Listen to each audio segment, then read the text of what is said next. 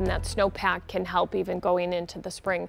Um, but it's going to be a while before those fires get put out and that smoke travels. So it travels along those upper level winds and can make it really almost all the way across the country. So uh, we'll take a closer look at that in a second. First of all, let's talk about what's going on outside this morning.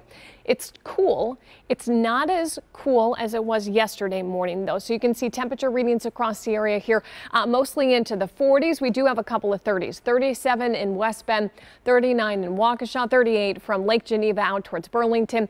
It's 47 right now in Milwaukee. The dew points, they're still really low. Yesterday, uh, no humidity. There's really going to hardly be any humidity today as well. So our dew points this afternoon, will be into the probably mid 40s, I think. Uh, Storm 4 Max here, things look good. It's quiet as we're starting out the morning and across the region, more of the same. Big area of high pressure in places that's going to keep the weather pretty quiet for us here.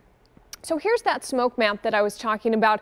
Uh, some of the hot spots where the wildfires are, the smoke is really very dense, but you can see a lot of that smoke has been pulled in over the plains, uh, starting to move back in across the Midwest. So we're just starting to see some of this working its way into Wisconsin now and throughout the day. Uh, the upper level winds will be out of the west. And so those upper level winds are what will drive this smoke. And so I think it will end up being a little bit hazy for us this afternoon. Our weather headlines, we are going to see a warming trend. Yesterday was a bit cool. Temperature topped out at 63 as expected. Today, we're looking at upper 60s. Next week, though, 70s. A mainly dry stretch of weather over the next seven days. There's really not much opportunity for rain. It is going to be breezy at times starting today and throughout the upcoming week. Here's future forecast. That high will start to move off to the east here. We'll see a few upper level clouds and again some haze from that smoke moving in and that will likely be with us at times as we move throughout the upcoming week. Monday afternoon, it's quiet, it's dry. We could see a couple of showers on Tuesday morning here. That chance fairly low, but enough moisture that we may see just a couple of very isolated showers. But most of the day on Tuesday, will end up being dry, partly cloudy.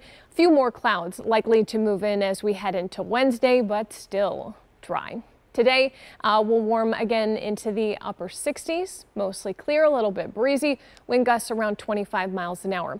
So as far as the dew point cast, today, again, the dew point's in the 40s, but we'll see them in the low 50s Monday, upper 50s Tuesday into Wednesday. So you'll notice just a little bit more humidity. We're up to 72 as we start the week. Temperatures will be in the upper 70s as we move from Tuesday into Wednesday, and we'll hold on to those temperature readings into the 70s. Looks like even as we start next weekend, some indications that maybe by next weekend, we'll see another cool down coming in. Uh, I do want to take a look at what's going on out over Lake Michigan. We'll check in on your boating forecast and tell you who could see some issues out on the lake today. Still ahead. Wow, what a beautiful forecast though, overall.